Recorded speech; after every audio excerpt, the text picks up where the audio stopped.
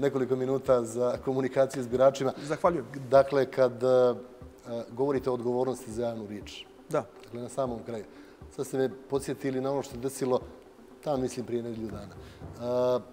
Ajde da ne upotrebim tešku riječ skandal, nego incident. Mislim da blažu ne mogu. Sa onim saopštenjima nakon vašeg sastanka sa petoricom ministara, ambasadora, pardon, zemalja Evropske unije u Podgorici. Kako je mogla dođe do tako pogrešne formulacije na koju su ambasadori morali da reaguju demantijem u saopštenju demokratskog fonda? Vidite, ja sam eto imao u svojoj skromnoj diplomatskoj karijeri mogućnosti da budem primjen do predsjednika francuske države, François Mitterana i tako dalje. Ne fali iskustvo. Poslednje što bih radio da ja bih koristio ovaj susrete na kraju krajeva u sav respekt ovih ambasadora. Znate, nisam ja pretjerano impresioniran ovaj, njihovim formatom i tako dalje. A srećan sam što su u Crnoj Gori. Niti ja mislim da ste pisali saopštenje. Pa nisam i bio je moj saradnik na tom lučku. Ja sam dakle pozvan da razgovaramo i vidjeli vidjeli ste da postoji praksa, nije baš najbolja, slažem se, ali to radi vlast, svi rade da kada se sretnu s ambasadorom, daju saopštenje. Tu su bila tri stava, nesporna, da je bila razmjena mišljenja i tako dalje, da sam pozvan i čak sam žurio na aerodrom, išao sam u Brisel, dozvolit ćete nešto važniji susret nego susret s ambasadorima. I bila je ta rečenica dakle, da je izražena zabrinutost oko informacija u javnosti o regularnosti izbora. Dozvolite mi da ovo do kraja objasnim. Naravno. E sada, kako to nije bilo usaglašeno i dogovoreno, pojavio se taj, taj demand, taj joint statement koji je mene iznenadio. Ja sam, kad sam vidio ono u nekom listu ovom koji, koji je poslednji nivo, nivo novinarstva od kad postoji novinarstvo u Crnoj Gori.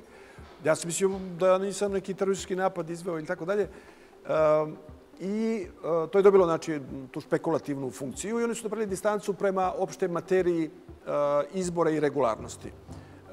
Kad sam to vidio, ja naravno nisam ništa reagovao. Dali smo neko imi ponovo saopštenje, naćete ga na sajtu Demokratskog fronta i zvao me jedan ambasador, nisam bio tu dostupan, drugi me zvao i razgovarali smo i ja sam e, prenio i sad to nije bitno, ću da kažem jedan moj stav povodom e, njihovog odnosa prema regularnosti izbora.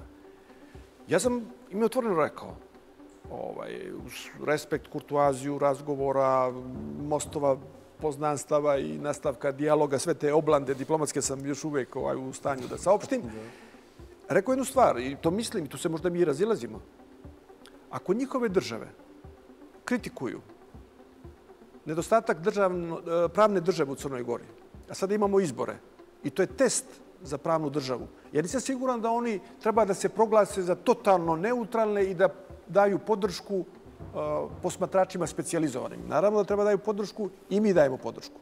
Dakle, ja mislim da i oni treba da se umiješaju pa da zaključe da je ovdje sve perfektno ili da ovdje ima velikih mahinacija i neregularnosti na što ukazuje i MANS i mnoge organizacije koje nemaju veze sa partijama. Tako da, eto... Teško da, teško da, da, da se može otići dotle dok je otišao vaš port parol koji je napisao DF je jedini izborni akter koji uživa jasno i vidljivu podršku međunarodne zajednice. Zanio se malo čovjek. To nema veze sa saopštenjem niti sa razgovorom. To je nešto odvojeno. Ali istog dana nakon sastanka vašeg sa njima, vrlo vješto. U tim stvarima čovjek nije baš nevješt igrač, ali se zanio. Jeste, a ovo skandalozno glasilo o kojem smo govorili je stabilo da se to nalazi u saopštenju, dakle falsifikat, grub i tako dalje. Pa vidite, vidjeli ste što se dešava na ovim e, kampanjama, izleću formulacije nedovoljno precizne i tako dalje.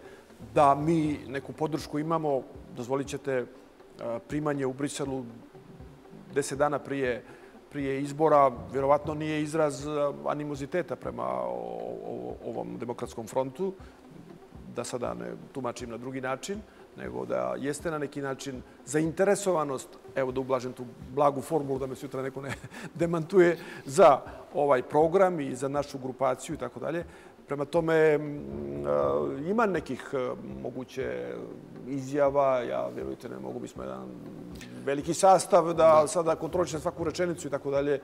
Nisam siguran da je svaka dovoljno izmjerena. Ali mislim, povod ambasadora da smo stvar razjasnili. Ok, samo gostovanje u živoj istini u ovako dobrom terminu je također jedan pokazatelj respekta i gotovo bih rekao malo pretjerujući namjerno statusnog simbola kao što je reklamirati se u živoj istini ili gostovati u živoj istini. Ovaj, znak nekih referenciji. Ja vam zahvaljujem što ste bili gost večeras.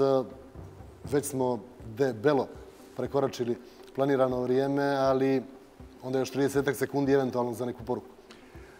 Vidite, mi tokom ovih dana kad obilazimo Crnu Goru ne agitujemo i ne nagovaramo nikoga da glasa. Mi ukazujemo na ozbiljnost trenutka, na dramatičnost trenutka i da je Crna Gora ponovo pred eh, određenim eh, izazovima, srećom, nema rata ovdje u okruženju i tako dalje. To ne znači da nisu problemi izoštreni. Eh, ono što dakle, kažemo to je da mi jesmo ozbiljna politička grupacija, Mi jesmo izmiren crnogorski narod jer smo unutar izmireni, funkcionišemo demokratski i upravo te vrijednosti želimo da prenesemo crnogorsko društvo. Tako da ako, ako glasači budu zaokružili broj 8 i glasali za demokratski front, glasali su za pravnu državu, za ekonomski prosperitet Crne Gore i za neophodan proces izmirenja u Crnoj Gori, hoću reći,